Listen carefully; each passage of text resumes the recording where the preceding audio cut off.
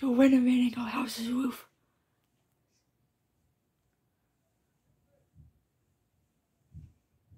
There's a limp hanging around his.